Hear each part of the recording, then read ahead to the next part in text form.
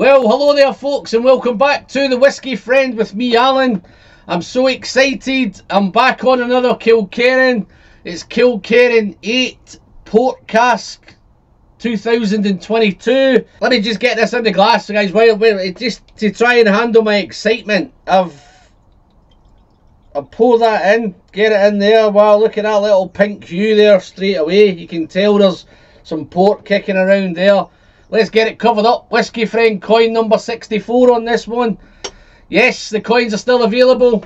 Yes, the glasses are still available. I'll pop links into the description if you want to support the channel and pick up some coins. Dive in there. So yes, a little bit on this Kilkerran port, guys. This is a sample that's been very generously gifted to me by Mr. Justin Adams, one of the Manchester Whiskey Boys here in Manchester. Thank you very much for your generosity, Justin. I was in two minds whether to review this sample, guys. I was in two minds because the reason why is this this is the latest batch of Kilkerrans, latest batch of Springbanks that's came out and they've been more and more difficult to get a hold of. The FOMO's kicked in with everybody, the flippers are in control, the flippers have got the market boxed off, they've snapped up every bottle Anybody that wants to buy this bottle and drink it has really had to be on their toes to manage to get a hold of it. I've just simply not been involved this time. I haven't dived in. I had a quick look. Couldn't see it anywhere. Anywhere I did find it, sold out instantly. So I've not chased it and I don't intend to chase anymore. It's Kilkerran. I see the reason I'm reviewing it is I've reviewed almost everything else that Kilkerran's done. So I thought I've got it. I've got a bit of spare time. I thought, why not? Let's dive in. Let's taste it. And let's share it. So I'm going to share this one with you guys. Other than that, yes, it is a sample. I'm, I'm aware it's a sample. I'm not going to score it.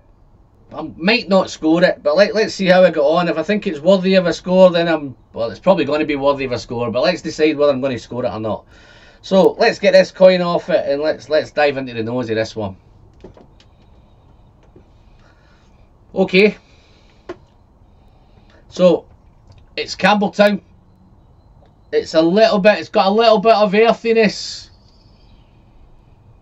Hint of funk, a little bit of funk in there, but it's and it's hinting. There's a little hint of a dirty note. It's gonna, it's a little bit dirty to start with, and I'm definitely picking up. Yeah, definitely some dun. There's a definitely a dunnage note kicking in there. That kind of dry and damp and wet floor, damp floor, dry floor, dirty floor. And believe it or not, folks, it's it's a little bit aromatic. I remember doing the Kilkerran 8 sherry cask last year. And and it was it wasn't one for me, it was covered in sulphur. I think there's a small tiny hint of sulphur in the back of this don't get me wrong, guys. Nothing off-putting. Nothing that's that's going to detract you from enjoying this whiskey. There's just a little hint in there. There's some beautiful red fruit coming through. Obviously, that's from the port casks. That red fruit, berry fruit, maybe some dark grape. A little bit of cherry, a little bit of cherry in there. And there might even be a little hint of red apple. So, but it, it's quite sweet on the nose. Fruity sweetness. In fact, I think the sweetness it's probably not sweet. It's it's it's gone a little bit floral now, so it's it's probably more floral than sweet. There's a lovely floral, maybe kind of rose petal, red roses, that that kind of note coming from it, rather than the sweetness. So I think it's still earthy. I think it's a little bit dirty. It's that little bit of damp, dry, typical Kilkerran, to be honest. Typical Springbank notes. But let's uh, let's dive in and see what it's like. If you're a regular to the channel, folks, you'll know exactly where this is going to go. This is just heading straight down the hatch. So, responsibly, of course. So, cheers, folks. Wish me luck.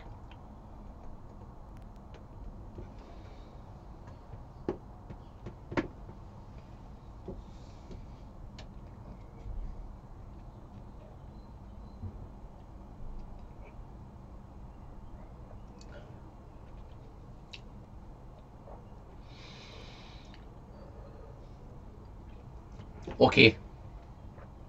My, I'm sorry I never got a bottle of this. Okay. Wow. It's... Let me just start before I do the palate, folks. The nose is okay. The nose is nice. It's not the most interesting nose in the world. There's that little bit of, if you like that dirty whiskey and smell of that, then great.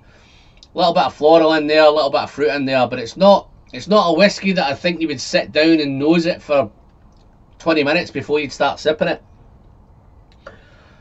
It's just a nice nose. It's an okay nose. Where this whiskey transforms is beautifully is on the palate. I remember at the Glasgow Whisky Festival, I tried both the new eights. I tried the Sherry eight and I tried the Port eight. And I do believe my favourite on the day was the Port. This is just concurred with that. This just verifies it for me. This is wonderful. And where it where it's where it goes in, let me just have another quick sip and then I'll I'll dive into this palate.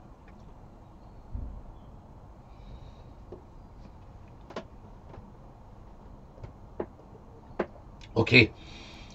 It's it's rich. It's thick, it's oily it's creamy, it's buttery, it's all that thick, thick texture going on in the whiskey. Almost bordering on syrupy.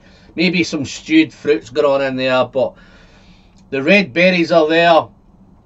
It's so dry on arrival, it's dry, dry, it just sucks all the saliva out of your mouth. And then all of a sudden, after a few seconds, it the fruits kick in becomes juicy. I think there's a little bit of plum in there. There's a little bit of red berry, a little bit of red currant. Let's do another sip of this just to, just for research, of course.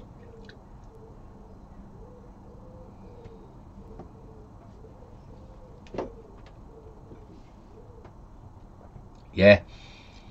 Plum, red currant, strawberry, Wow, stewed, juicy. It's becoming sticky.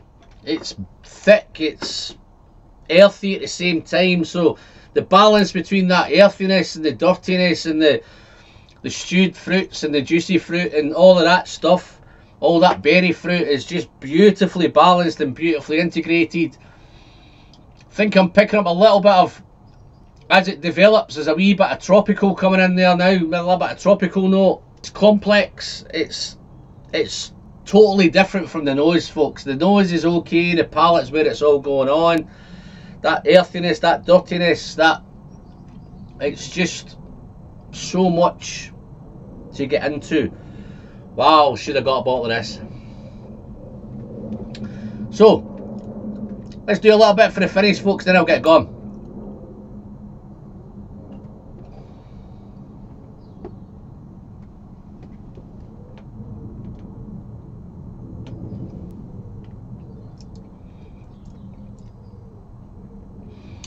As it as you take more sips of it, it becomes spicier at the same time. That little hint of sulphur that I mentioned on the nose is definitely nowhere on the palate. It's very aromatic. It's so dry. At the same time, the fruits balance that out. It just adds to it.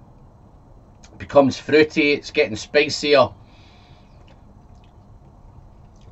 Wow. Did I do a bit for the finish? Let me do another bit for the finish, folks.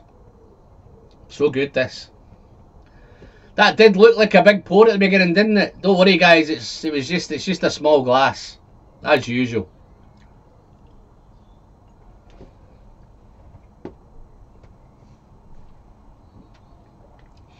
The finish, that dryness continues. It comes and goes. Pops in, pops out back into the finish again. It goes a little bit dry again, a little bit smoky. The smoke is there on the end. That little bit of distant bonfire. The matchstick's gone. It's it's it's more distant. It's more your neighbours five doors down are having a barbecue and there's that little bit of smoke whiffing across. It's that kind of thing. A little bit of plum, a little bit of red fruit, a little bit of red currant and a little bit of strawberry. That red fruit is on the finish. A little bit of tobacco there as well on the finish. That light smoke there and a bit of spice. It's medium long on the finish. Really, really nice.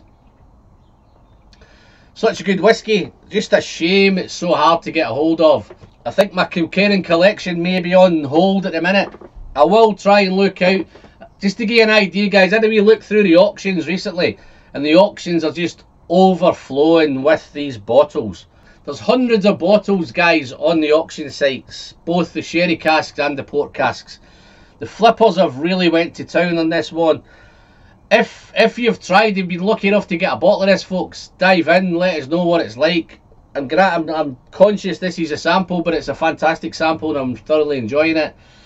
I've got no doubt the bottle would just get even better as it went down the bottle. I'm not going to do it with water. I've just, well, I've not got enough left, I think, to do it with water anyway, but I, I didn't want to spoil it.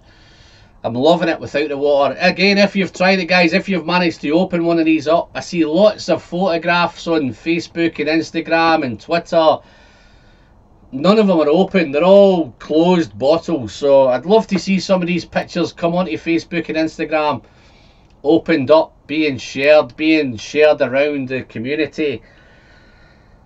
If you've got one and you've tried it, guys, dive in, let us know what your thoughts are on it. Do you concur? Are you enjoying it? Is it as good as the others? Is it is it as good as the initial Oloroso away? I'm not too sure it's that good quite yet. Maybe if I had a bottle of it, maybe I might be able to compare both of them as, as they go down. I'm loving it. Am I going to score it? Yes, I will score this one, guys. I don't normally score samples, but this this is such a good whiskey. If I was just poured this, I'm just imagining I poured this from the bottle. I'm going to try and pop a bottle here. So if I could pour this from a bottle now, and I'm drinking it now and I'm taking myself back in time, I would score this a 93 out of 100. That That's where I'm scoring that one at the minute. It's such a good whiskey. Pretty sure if I had a bottle of it, then it would probably might even get a 94 or 95. So if you've liked the video, you know what to do. Click that button, give me the thumbs up, dive into the comments. I'd love to know your thoughts, folks. Big thanks to my Patreons been through me thick and thin. I'll pop all the links into the bottom. Coins, glasses, Patreon.